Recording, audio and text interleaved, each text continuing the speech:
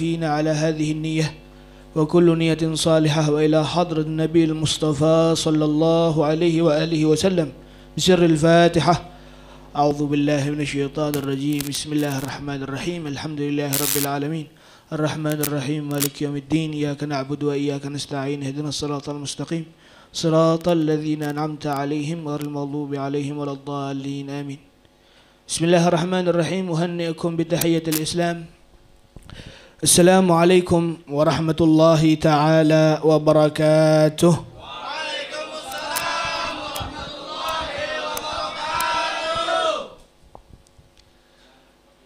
بسم الله الرحمن الرحيم الحمد لله الحمد لله رب العالمين نحمده ونستعينه ونستغفره ونسترشده ونعوذ بالله من شرور أنفسنا ومن سيئات أعمالنا من يهده الله فهو المهتد ومن يضلل الله فلن تجد له وليا مرشدا. أشهد أن لا إله إلا الله وحده لا شريك له وأشهد أن سيدنا محمدا عبده ورسوله. نوينا التعلم والتعليم والنفع والانتفاع والمذاكرة والتذكر والتذكير والإفادة والإستفادة والحث على التمسك بكتاب الله وسنة رسول الله والدعاء إلى الهدى والدلالة على الخير ابتغاء وجه الله الكريم وثوابه وقربه تعالى. اللهم علمنا ما ينفعنا وانفعنا بما علمتنا وزدنا علما.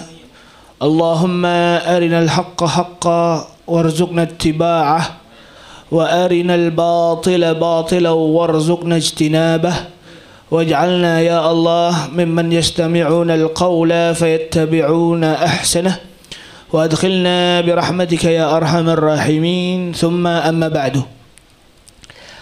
حضرة المكرمون المحترمون yang kami cintai, yang kami ta'zimi, yang kami muliakan.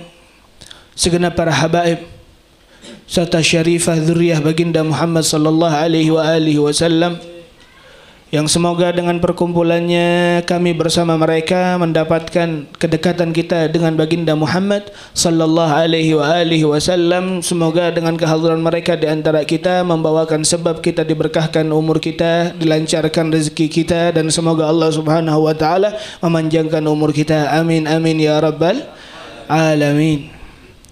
Khususnya kepada al-habib Khalid al-Kaf wal habib Bagir wa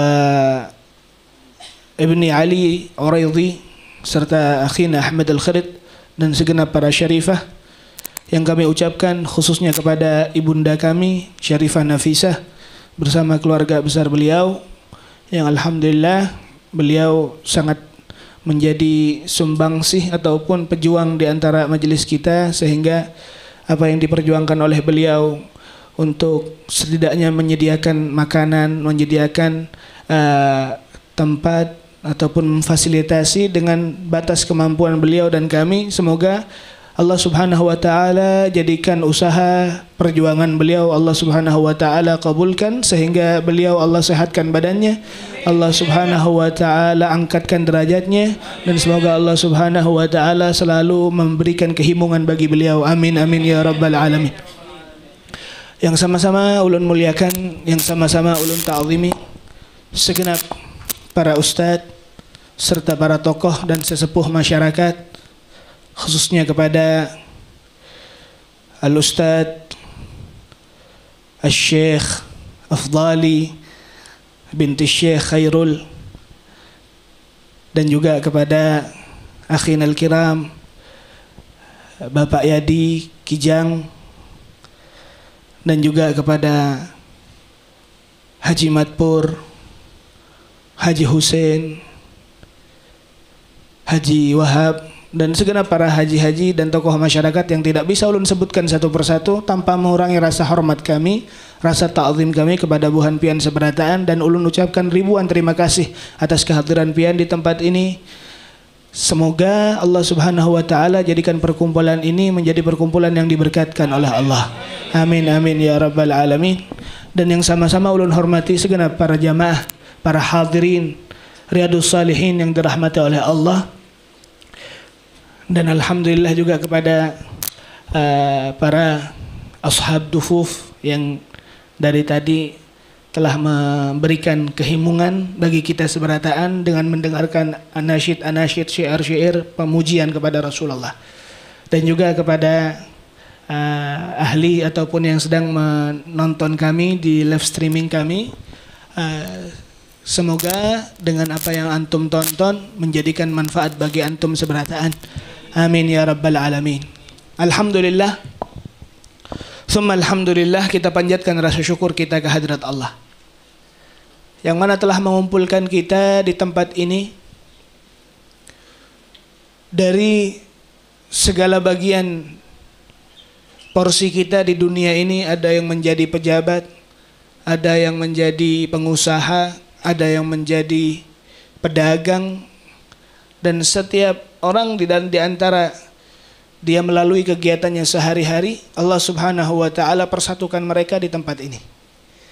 Yang mana bahwasanya hal inilah yang menjadikan sebuah kesatuan dan keimanan seseorang bahwasanya tujuan kita di dunia bukanlah untuk menjadi seseorang yang melakukan pekerjaan tersebut. Bukan itu menjadikan tujuan melainkan tujuan itu adalah ibadah kepada Allah sehingga bersatulah kita sehingga bersamalah kita sehingga mengenallah kita di antara satu sama lainnya yang tidak melihat bahwasanya beliau adalah fulan, beliau adalah fulan, beliau adalah fulan, tidak. Melainkan kita bersama-sama duduk bersama mendengarkan sebuah kajian yang berhubungan dengan baginda Muhammad sallallahu alaihi wasallam. Bahwasanya ketahuilah Nabi Muhammad sallallahu alaihi wasallam sangatlah pantas, sangatlah cocok, sangatlah sesuai dengan porsi di, di setiap kehidupan seseorang. Apa yang diucapkan sering berkali-kali saya ucapkan bahwasanya wa'lamu anna fikum Rasulullah. Ketahuilah di antara kalian ada Rasulullah. Sunnahnya Rasulullah setiap halnya sunnahnya Rasulullah dari setiap perinciannya sangatlah sesuai dan cocok bagi mereka yang menerapkan tanpa melihat statusnya.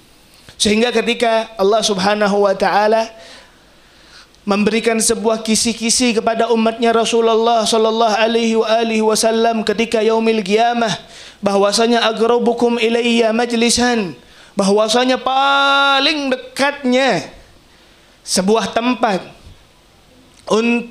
bersama Nabi yaitu kedudukan bersama Nabi di yaumil qiyamah bahwasanya tak lain tanda bukan kita ini di dunia di zaman di tahun 2020-nya ataupun 2000 berapa sekarang 2021 menuju 2022. Survei mengatakan bahwasanya setidaknya ada 7 miliar manusia di muka bumi ini.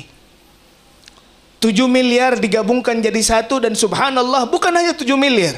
Dari zaman Nabi Allah Adam dicipta sampai yaumil qiyamah nanti kita akan bersama di sebuah lapangan. Itu pasti di padang mahsyar. Sehingga ketika kita melihat perkumpulan yang sangat-sangat-sangat mendesak seperti itu, yang sangat menyakitkan, menyiksa, jelas kita ketika melakukan perkerumunan, entah itu di mallnya ataupun menunggu antriannya dan seterusnya menyiksa. Bagaimana ketika nanti di yaumil qiyamah? Bagaimana ketika matahari pada saat itu hanyalah sejengkal dalam riwayatnya sehingga subhanallah para mereka orang-orang yang tidak beriman kepada Allah mengatakan apa? Ya Allah, berilah aku ini apa rasa santai. Kada usah menunggu lagi, Pang. Ulun ini sudah masuk neraka. Masukkan ya ulun ke neraka Allah. Karena apa? Karena melihat bahwasanya pada saat itu posisinya sangat menegangkan dan sangat menyiksa. Karena subhanallah berapa ribu tahun dengan matahari yang segitu dekatnya kita merasakan panasnya matahari dan seterusnya. Nah, di situ Rasulullah mengatakan bahwasanya ada tempat yang paling dekat denganku nanti. Siapa mereka? Apa kata Rasulullah? Ahasinukum akhlak. Orang yang paling baik akhlaknya. Orang yang berusaha untuk menjadikan dirinya lebih baik dengan budi pekerti yang dilakukan. Rasulullah tidak mengatakan bahwasanya ini dengan dengan banyaknya melakukan menunaikan haji tidak Rasulullah mengatakan bahwa tidak mengatakan bahwa siapa yang dekat denganku dengan paling banyaknya dia membangun masjid tidak karena subhanallah jikalau Rasulullah mengatakan hal tersebut maka hanya porsi orang kaya saja yang bisa dekat dengan Rasulullah. Ya kalau Nah, maka dari itu Rasulullah mengatakan akhlak yang baik ini bisa ditiru siapa saja. Entah itu kastanya dia adalah orang yang berekonomi yang enak ataupun ekonominya di atas ataupun ekonominya di bawah. Nah, itulah porsinya Nabi Muhammad di antara kita sebagai umatnya. Dan semoga apa yang kita laksanakan pada malam hari ini ini merupakan sebuah bentuk kita turun kita membawa akhlak mulia untuk mendengarkan, menyiksa, menyaks, apa, menyaksikan dan belajar mengkaji akhlaknya Nabi Muhammad sallallahu alaihi wasallam, sejarah kehidupannya Nabi besar Muhammad sallallahu alaihi wasallam. Allahumma salli ala sayyidina Muhammad. Hadirin yang dirahmati oleh Allah. Tak bisa kita pungkiri bahwasanya kita adalah pendosa tidak bisa kita pungkiri bahwasanya kita adalah seseorang yang bersalah. Tidak bisa kita pungkiri bahwasanya kita bukanlah orang yang suci. Sehingga subhanallah dosa yang kita yang melekat di dalam tubuh kita. Dosa yang kita lalai yang kita lalai karena ibadah kepada Allah dengan melakukan dosa tersebut. Wallahi tidaklah menjadi sebuah penghalang kita untuk berhijrah kepada sebuah hal yang berbau kebaikan. Tidak. Sehingga apa yang diucapkan oleh Allah Subhanahu wa taala dalam Al-Qur'anul Karim, "Wa man yuhajir fi sabilillah yajid fil ardi muraghaman katsira wa sa'ah." Bahwasanya subhanallah apa yang diucapkan oleh Nabi Muhammad barang siapa yang dia berhijrah dia hijrah artinya apa? Berangkat, berjalan. Hijrah bisa diartikan bahwasanya perubahan sifat, perubahan pekerjaan, sehingga berpindahlah sifat A ke sifat B. Yang di mana alasan utamanya karena Allah. Alasan utamanya karena dia ingin dekat dengan Allah. Bahwa yang diketahui bersama tidak ada sebuah ketenangan yang didapatkan di dunia ini yang didapatkan dari maksiat kepada Allah. Wallahi tidak ada. Karena apa? Karena tujuan kita diciptakan oleh Allah di dalam kehidupan kita ini tujuannya satu, mengenal Allah, beribadah kepada Allah. Wa ma khalaqtul jinna wal insa illa liya liya'budun.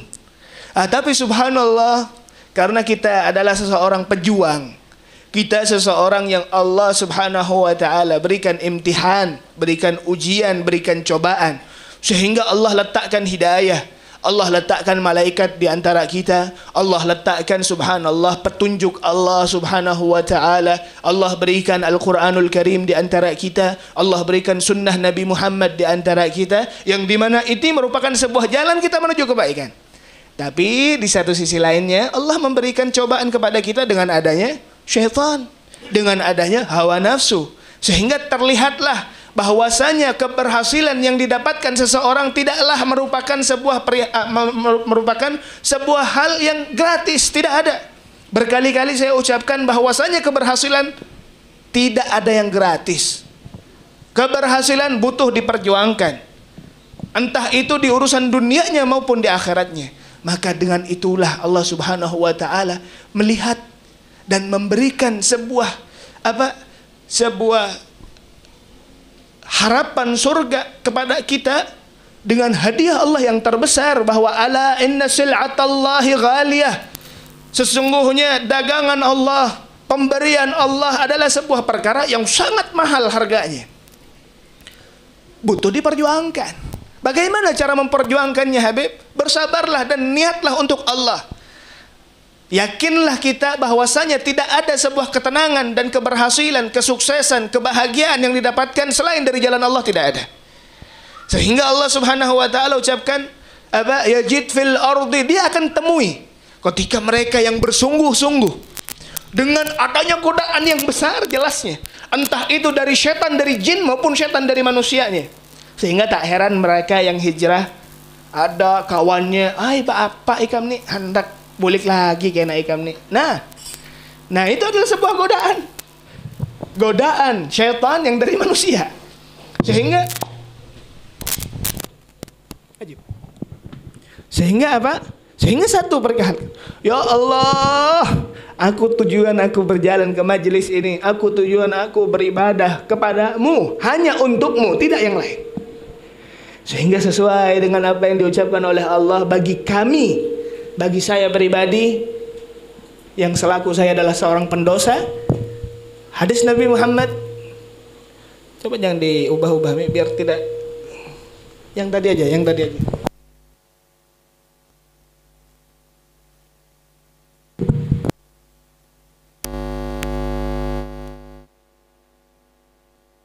Tes, tes.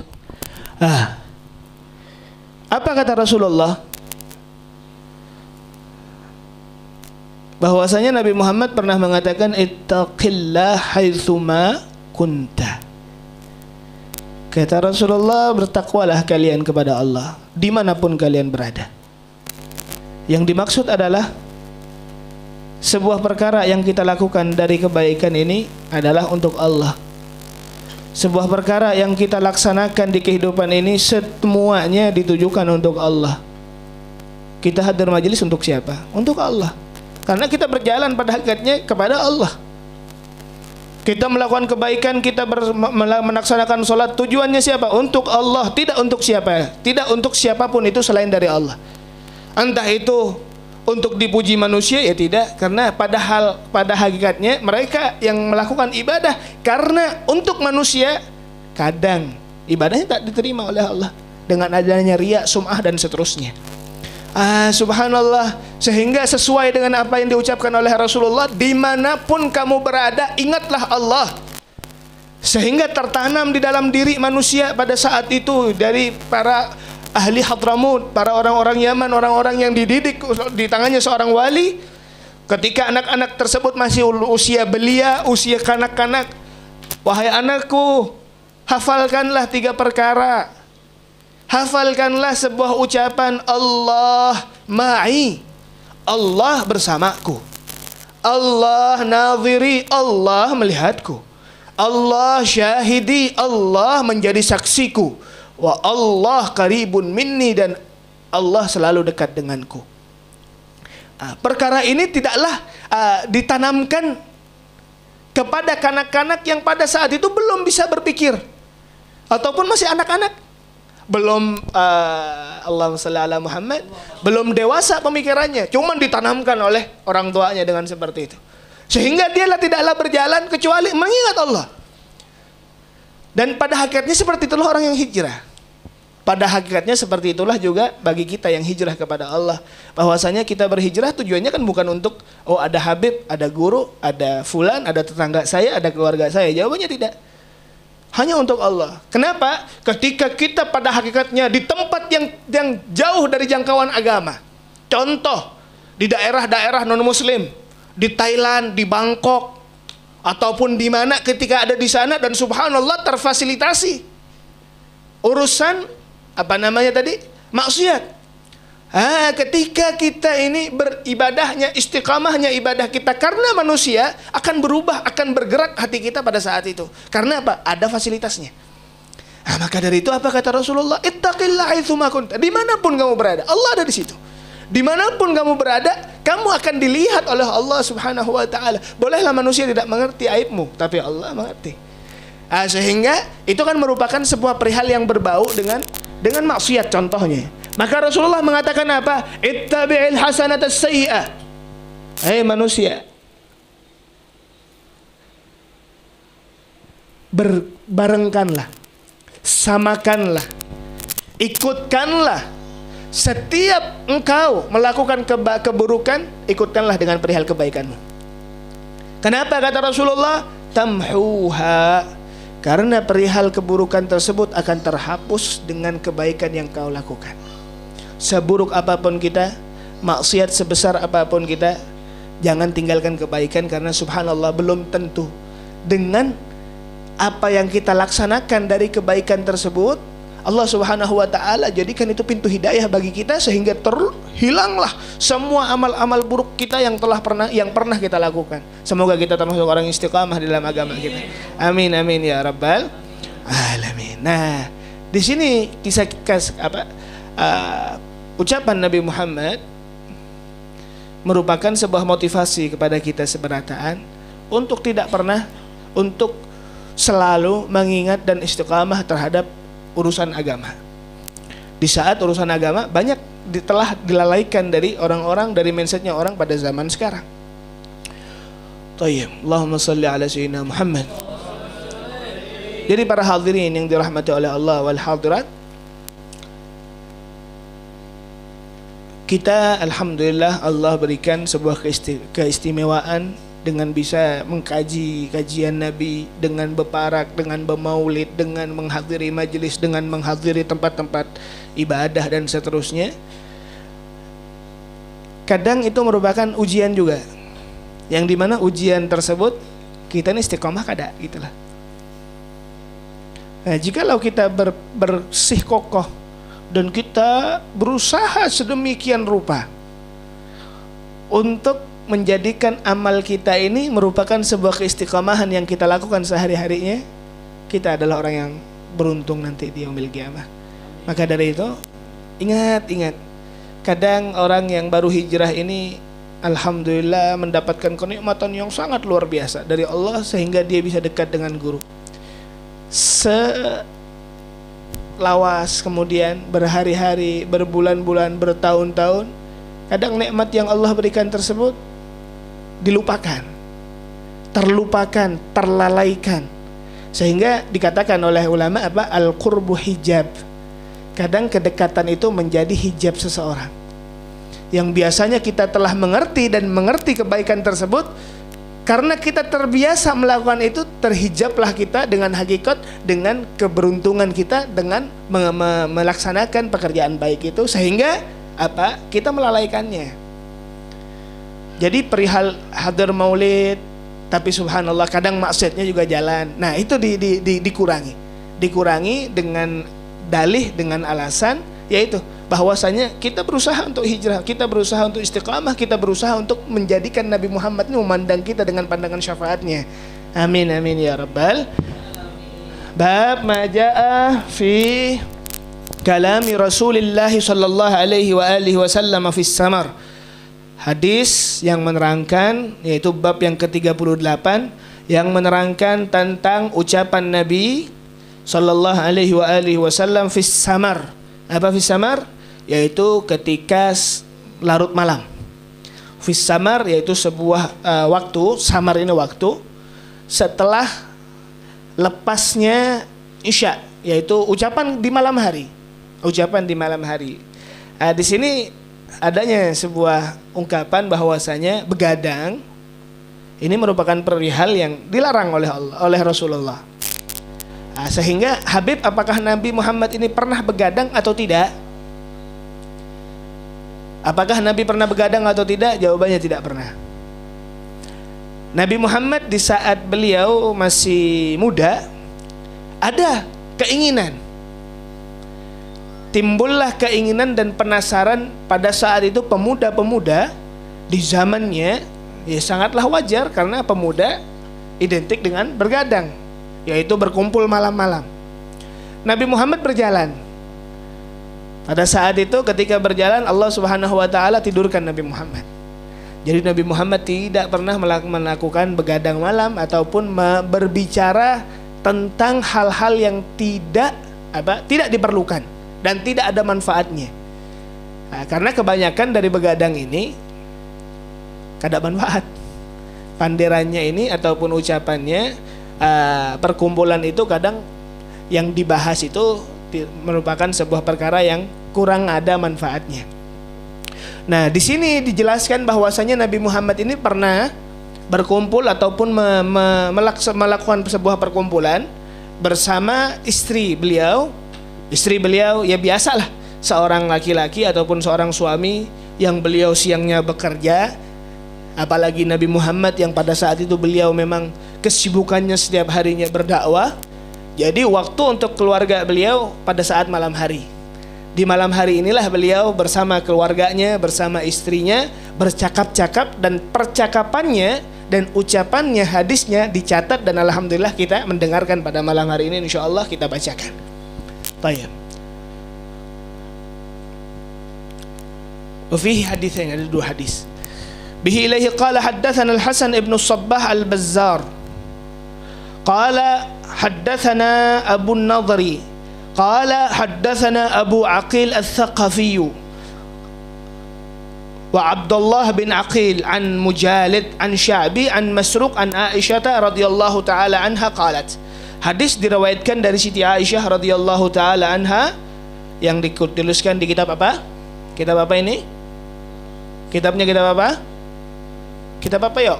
Pengajian kita rutin apa? Syama'il Muhammadiyah. Uh, Siti Aisyah mengatakan haddatsa Rasulullah dzata lailatin nisa'ahu hadithan faqalat imra'atun minhunna ka'anna al-haditha hadithu khurafah فقال أتدرون ما خرافة إن خرافة كان رجلا من عذرة أسرته الجن في الجاهلية فمكث فيهم دهرا ثم ردوه إلى الناس إلى الإنس فكان يحدث الناس بما رأى فيهم من الأعاجيب فقال الناس حديث خرافة Di sini diriwayatkan bahwasanya Nabi Muhammad pernah berkumpul, pernah melakukan sebuah perkumpulan ya, ya majelas lah seperti biasa, seperti hal wajarnya kita ketika berkeluarga bersama perempuannya yaitu istrinya. Faqalat imra'atun minhunna. Nah, di pada saat itu istri beliau menanyakan kepada Rasulullah. Jadi adanya panderan, adanya sebuah cerita yang menakjubkan. Sebuah cerita yang menak menakjubkan. Di sini istri Rasulullah mengatakan ka'annal hadis hadis khurafah. Ya Rasulullah, ini hadis-hadis khurafat. Apa sih? Uh, saya saya jelaskan dulu. Khurafat ini adalah sebuah kabar yang penuh dengan kebohongan. Ini khurafat.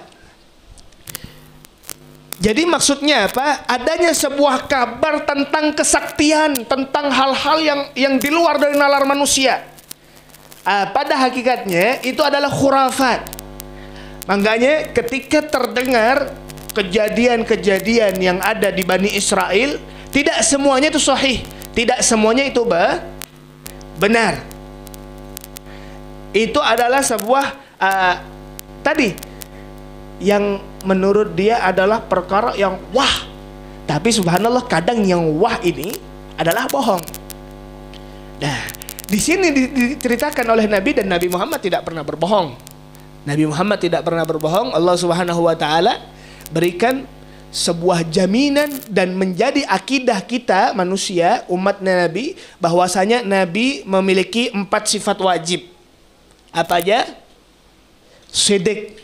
Ju? Jujur. Terus? Tabligh. Apa tabligh ini? Berdakwah. Jadi tidak ada seorang nabi pun yang tidak berdakwah. Terus yang ketiga yaitu amanah. Memiliki sifat amanah. Dan yang keempat apa? Ah, fatanah, pintar.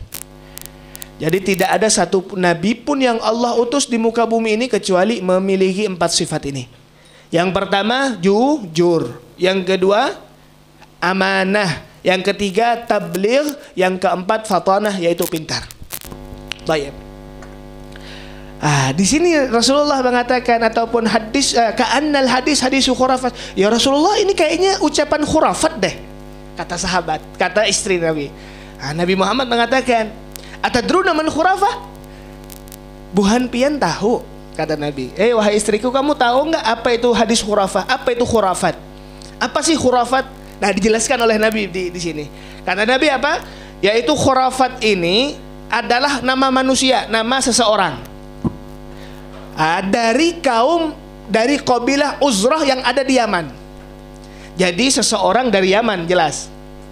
Ah, dia ini syair, dia ini penyair syair-syair romantis. Khurafat ini ceritanya asyarat hul jin. Dia ini tangkap oleh jin. Nah, ditangkap, diculik oleh jin, dimasukkan ke alamnya ah, fil jahiliyah dan ini pada saat itu di zaman jahiliyah yaitu sebelum kedatangan Nabi Muhammad. Jadi khurafat ini adalah seseorang yang ditangkap oleh jin yang dimasukkan ke alamnya dan dia keluar fama kathafihim dahran. Dia ini lawas di alam jin tadi dan pada saat itu dia keluar ke ke alam manusia dan dia menceritakan kepada manusia dengan cerita-cerita yang ada di alam sana. Dengan cerita yang ada di alam jin tadi, minal aajib dari sebuah dari sesuatu sesuatu yang berbau keajaiban. Baik. Inilah hadis khurafat. Nah, di sini banyak sekali uh, pertanyaan ataupun pembahasan yang akan kita bahas. Salah satunya khurafat ini identik dengan kebohongan. Itu yang pertama. Terus yang kedua, ketika seseorang berhubungan dengan jin, apakah manusia itu bisa melihat jin atau tidak? Pertanyaannya, apakah manusia bisa melihat jin atau tidak? Bisa.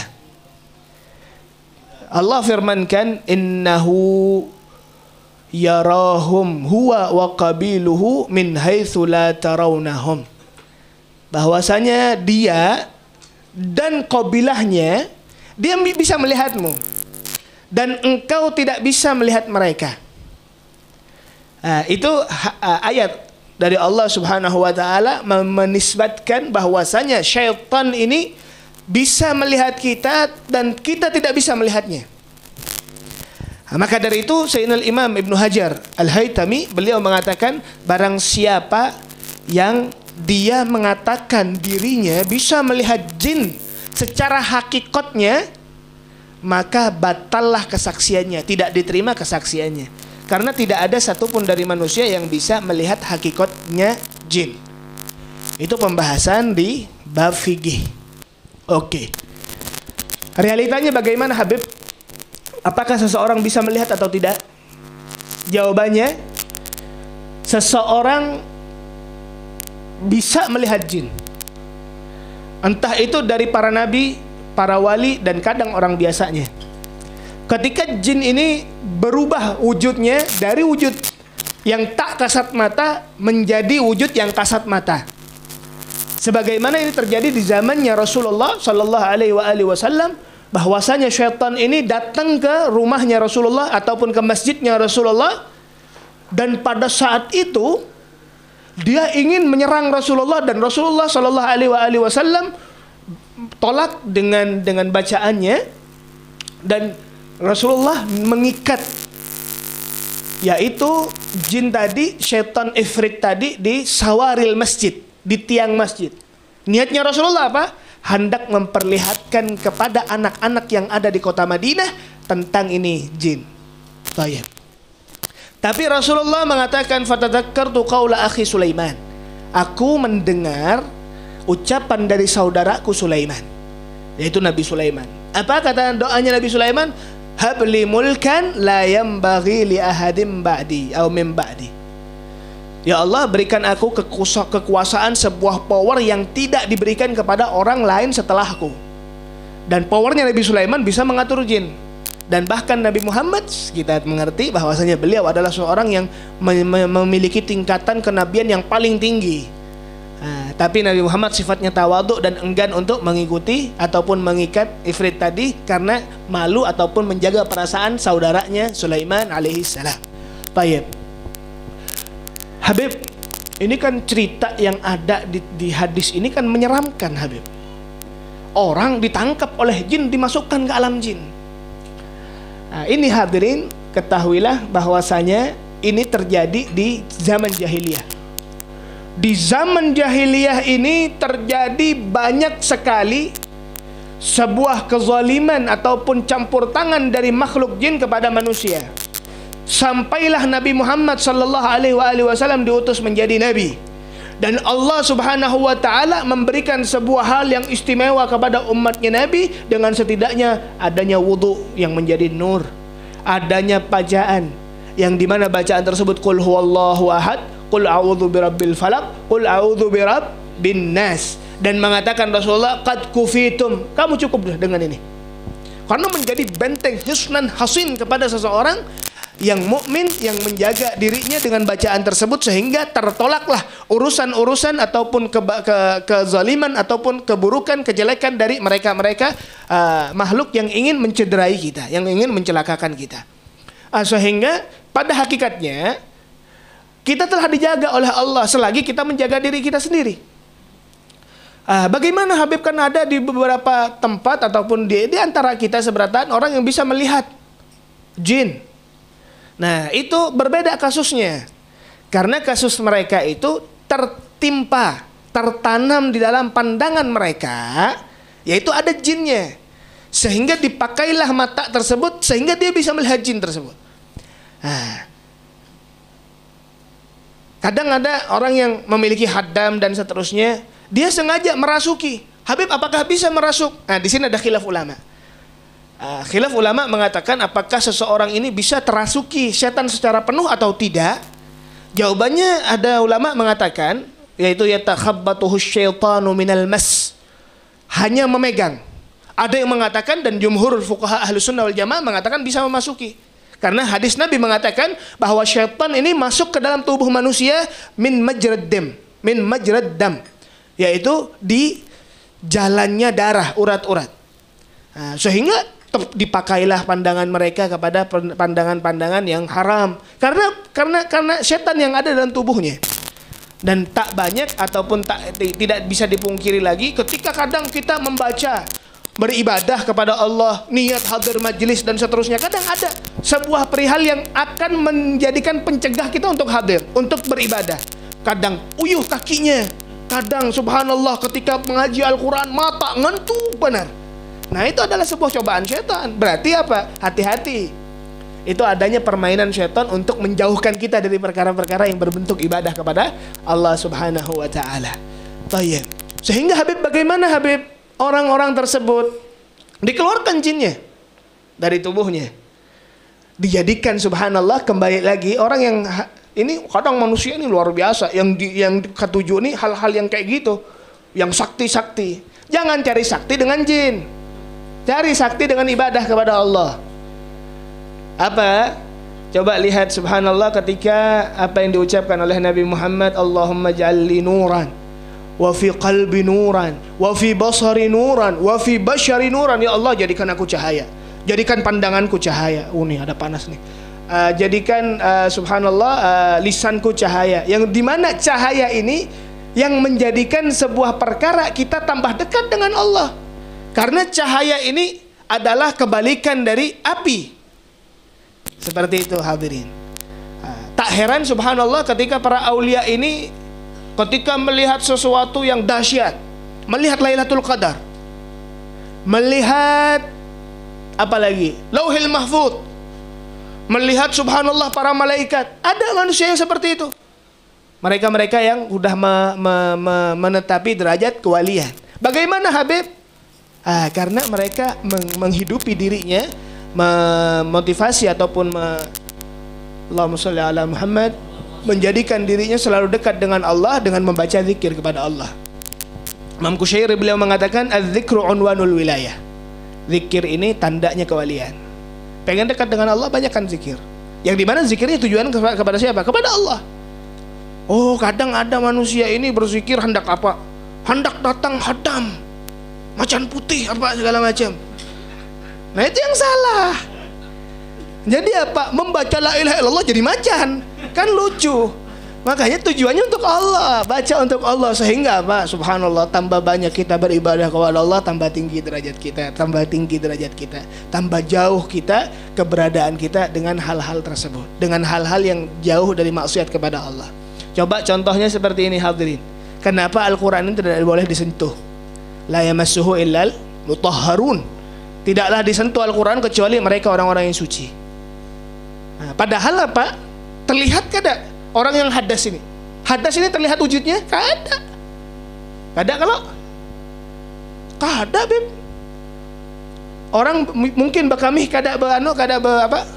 Bebasuh, mungkin terlihat kotor. Kalau sudah bebasuh, tapi belum wudhu dia. Boleh nggak megang Al-Quran? Nggak, nggak boleh. Nah, maka dari itu dijadikan al-wudu ini sebagai sarana Allah Subhanahu wa taala memberikan nur kepada orang tersebut. Diperbolehkanlah memegang Al-Qur'an. Nah, seperti itu hadirin. Nah, maka dari itu ini ini sebuah motivasi gerakan ibadah ini kadang kembali lagi yaitu hal yang memberikan sebuah tantangan kita dalam ibadah ini berbentuk mereka setan-setan tersebut. Nah, hawil nafsak yaitu kita sama-sama berjuang untuk menjaga kesucian kita dari wudhu kita, apalagi kalau sudah uh, berhubungan dengan junub. Langsung langsung ini langsung langsung bebersih, langsung bebersih karena pada saat itu jangan berikan kesempatan syaitan ini bisa menikmati uh, tubuh kita. Allahumma salli ala Muhammad.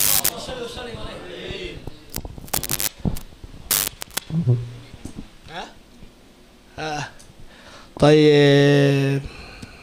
Nah, di sini juga Habib bahwasanya khurafat ini perihal-perihal yang berhubungan dengan khurafat ini pada hakikatnya banyak yang menyesatkan. Banyak, sangat banyak yang menyesatkan. Karena apa? Karena mereka ya'udzuna birijalim minal jinni fazaduhum rahaqa.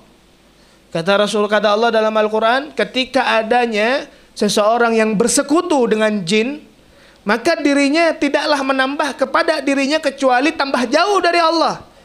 Karena pada hakikatnya mereka yang tujuannya bersekutu hal-halnya adalah perihal yang akan menjauhkan memang. Uh, sehingga subhanallah yang kadang yang membuat diri kita ini uh, patut untuk berhati-hati dengan mereka karena kadang mereka mengucapkan dengan sebuah ucapan yang berhubungan dengan agama. Hati-hati. Coba kita lihat yang melarang seseorang untuk melakukan ibadah, sholat contohnya, dengan landasan hakikat, torikot, dan makrifat. Ya kalau kada sholat, karena kita sudah sampai kepada Allah. Coba takun, dari mana ini dapat? Oh ada suara bepander. Oh ulun melihat dalam mimpi Oh ada fulan, fulan, fulan. Nah itu adalah penyesatan dari setan. Hati-hati. Karena walaupun ini adalah siapa pun itu. Entah itu dari malaikatnya ataupun siapa pun tidak akan bisa merubah dari agama. Tidak akan bisa. Karena pada hakikatnya agama kita telah sempurna. Allah katakan al-yaum akmaltu lakum dinakum. Pada hari ini 1400 tahun yang lalu mengatakan hari ini agama kalian telah kusempurnakan. Sempurna agama Islam. Ah, maka kalau seandainya ada orang yang mengatakan hal-hal tersebut, maka pada hakikatnya ujungnya adalah penyesatan dari dari umat Islam yang dilalui oleh mereka-mereka kaum jin. Hati-hati dari setan juga. Nah, maka dari itu uh, ketika kita belajar ilmu agama, belajarlah dengan orang-orang yang bersanat, yang jalannya ketahuan, gurunya ketahuan dan ilmunya ketahuan, bukan dari mimpi ataupun dari wangsit dan seterusnya. Ah, Allahumma salli ala Muhammad. Ah, karena pada hakikatnya apa yang diucapkan oleh Rasulullah dalam dalam hadis ini kebanyakan dari itu adalah sebuah kebo kebohongan. Allahumma salli wa sallim wa barik ala Muhammad. Tayyib, udah. Sekian. Insyaallah kita lanjutkan pada pertemuan kita yang akan datang. Eh, doakan kami semoga Allah Subhanahu wa taala sehatkan badan kami, panjangkan badan kami dan antum juga mudahan istiqamah di jalan Allah Subhanahu wa taala. Subhanakallahumma wa bihamdika an la ilaha illa anta astaghfiruka wa atubu ilallah. Ah, sebelum kita tutup seperti biasa kita sama-sama berdoa kepada Allah. Al-Fatihah ila hadrat Nabi Mustafa sallallahu alaihi wa alihi wasallam. أن الله يعطيه الوسيلة والفضيلة والشرف والدرجة العالية الرفيعة وابعثه المقام المحمود الذي وعدته إنك لا تخلف الميعاد يا أرحم الراحمين ثم إلى رسولنا ورثنا الإمام الحي أبو بكر بن عبد الله العطاس أن الله يعلي درجاته في الجنة وينفعنا بأسراره وأنواره وبركاته في الدين والدنيا والآخرة وعلى نية sebutkan niatnya masing-masing dalam hati.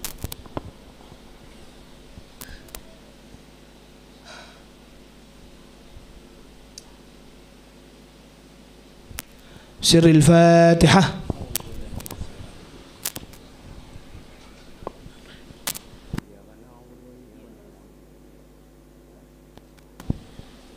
السلام عليكم ورحمة الله وبركاته. الله. سيدنا محمد صاحب البشرى صلاة تبصرنا بها